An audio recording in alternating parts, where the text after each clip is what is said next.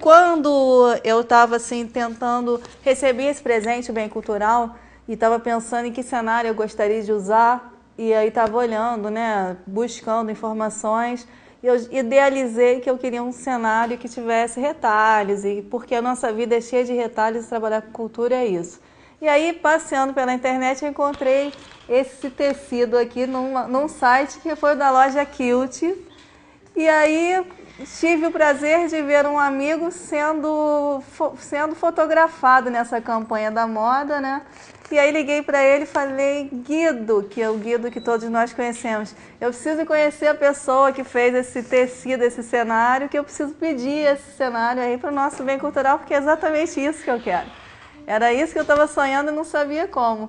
E aí ele me deu o telefone da Gisele, eu liguei, liguei, liguei, a gente tem que buscar as coisas que a gente quer e a gente acabou conversando e a gente tem conversado tanto, tantas trocas, a gente pensa tão parecido em tudo, né, Gisele? Que é aí você cedeu e a gente está desde o primeiro dia usando essa campanha que você que inventou, não é isso? É verdade, fico muito feliz, de, né? Ficou bem bacana assim o cenário. E é isso, né? O que você falou, a questão da cultura mesmo. A gente tem procurado assim trabalhar bastante a cultura, sabe? Nas inspirações assim das coleções da Kilt.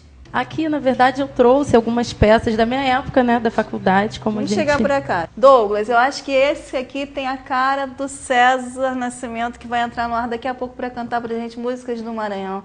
Maranhão não, músicas do César, mas o César que tem toda essa influência, né, do boi e das coisas do Maranhão, ele deve estar dizendo lá, pô, massa. Foi, foi, debaixo da mangueira, que a gente viu a folha da cana voar como ele fala e vai falar daqui a pouco. É, inclusive essa foi assim uma das primeiras coleções que eu fiz na faculdade e foi justamente inspirada na festa de Parintins, então tem a questão do caprichoso, garantido, e essa é, mistura. As cores, e né? as cores, é todo esse folclore. E a gente vê assim que tem muitos fuxicos, né? Muito bordado. É, a gente gosta muito de trabalhar essa coisa assim artesanal. Então, tem toda a questão de, da pintura à mão também, o fuxico. É, eu vou pegar assim, só porque eu gostaria de mostrar que mistura. Olha só, gente, eu ia fechar no evento com uma saia dessa, que tem retalho, tem, tem crochê. crochê, tem vários. Tem fita. Tem influências do país todo, né? É Numa peça só. É muito interessante.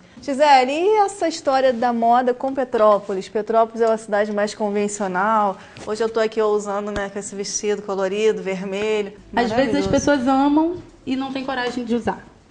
Pois é, a gente né? tem que parar com essa é história, né? De a gente tem que usar o que a gente quer. A vida da gente passa muito rápido, né? E a gente é tem verdade. que aproveitar muito isso. Cresci sempre entre os provadores e desfile. E aí surgiu essa, essa, esse curso de moda, né? Que assim é relativamente novo. E quando eu vi, eu falei, essa é a é carreira da minha quero, vida. É www.kilt.com.br.